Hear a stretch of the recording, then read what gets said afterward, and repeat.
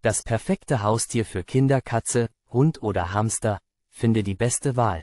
Die Entscheidung für das richtige Haustier für Kinder hängt von verschiedenen Faktoren ab, wie zum Beispiel der Wohnsituation, der Zeit und dem Geld, das man für das Haustier aufbringen kann, sowie den Vorlieben und Bedürfnissen der Kinder. Eine Katze kann eine gute Wahl sein, da sie relativ pflegeleicht ist und weniger Aufmerksamkeit benötigt als ein Hund. Katzen sind jedoch oft eigenständiger und weniger verspielt als Hunde, was für manche Kinder weniger spannend sein könnte. Ein Hund ist ein treuer Begleiter und kann Kindern viel Freude bereiten, aber er erfordert auch viel Zeit, Training und Auslauf. Es ist wichtig, dass die Familie genug Zeit hat, um sich um den Hund zu kümmern und ihn artgerecht zu halten.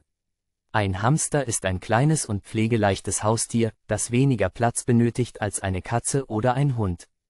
Hamster sind jedoch nachtaktiv und sollten daher tagsüber nicht gestört werden.